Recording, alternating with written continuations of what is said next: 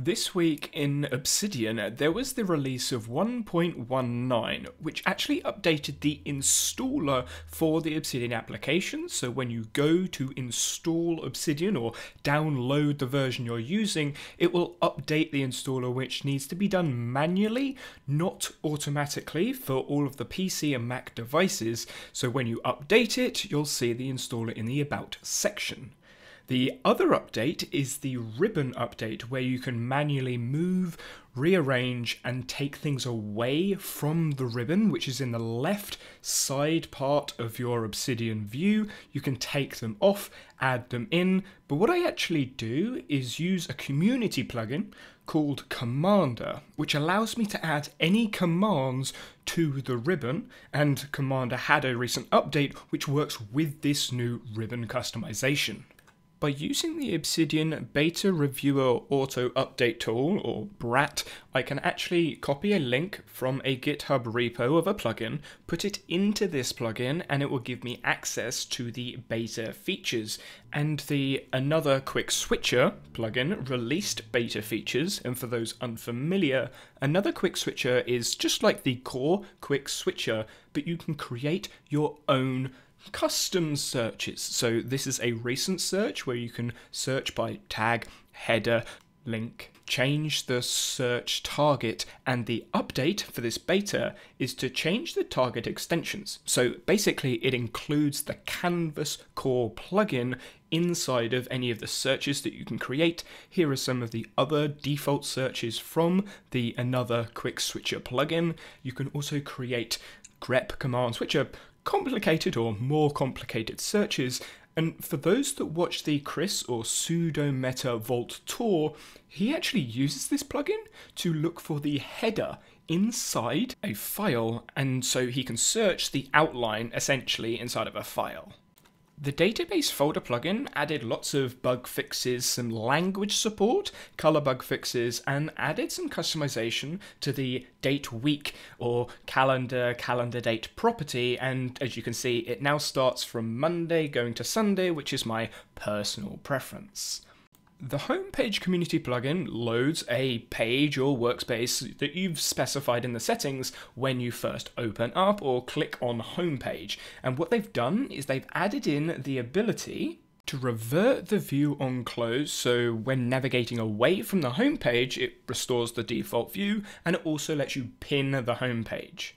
The full calendar plugin is another plugin that I use quite a lot where you can add your own calendar for a day view, three day view, week, month, list. There's loads of customization when you're adding in views, but the update has allowed the full calendar experience, the full calendar views to be put into the sidebar. So you can go to the command palette, open up the full calendar in the sidebar, then save it in a workspace, add it to a hotkey, a commander, or anything like that, so you can see the 3, 1, list view, all that sort of stuff inside of the sidebar, which to me is really beneficial. And when you're adding an event, you can do it straight from any file in Obsidian. The self-hosted LiveSync plugin got lots of updates and you can see it's improved some of splitting markdown, saving chunks, and what this plugin does is allows you to create essentially a place for all of your files to sync to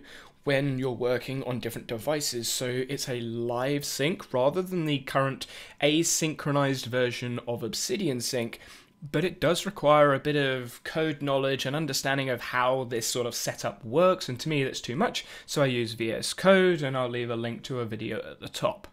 Space repetition was spoken about quite a bit in the Discord server, so the space repetition community plugin tries to replicate lots of elements of Anki, does a really good job of it, and you can see there's lots of separators for the different type of flashcards or cards you can put inside of a file. For those unfamiliar, when you're adding in information into a file, you can add any of those separators to bring up questions or answers. Then when you go to practice your flashcards, it will then show you a window. Now I'm going to edit this one and you can see it's brought up the file the flashcard is in, so I can edit it later, go through, show answer, see if I've got them right, wrong, or if it was easy, hard, good. Basically measuring how competent you are. You can change the algorithm as to when the flashcard's next shown. And when you go back to the file, you can see there's a comment underneath the cards. And that is the space repetition, the part of the algorithm that's used to determine when the flashcard should be shown again. But you can see the bottom one doesn't have a comment because we edited the card. Then we can go, we can do the card, say, yeah, that was good. Now we've completed them all and it's added that SR down the bottom. For anyone using tasks instead of Obsidian, if you're not using the task plugin, I would highly suggest you at least take a look at it. And there was a massive update with so many changes, I can't go through them all, but there was a big change to the way sorting tasks is done inside of the task query. There was also updates to the help documentation, and I think the task help documentation is probably some of the best documentation of the plugins out there, so it's certainly good to see the documentation being updated as the plugin adds features, which sometimes can be difficult for plugin developers, and as you can see here, you've got the introduction section and the quick reference table, which I used all the time when I was using the task plugin, and it helps you quickly see what you actually need to put into the task query with all of the new sort information there.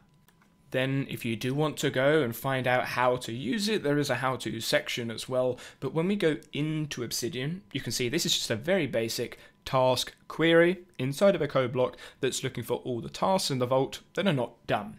It then shows me the tasks, I can tick them off, I can navigate to them, and find where they are inside the vault.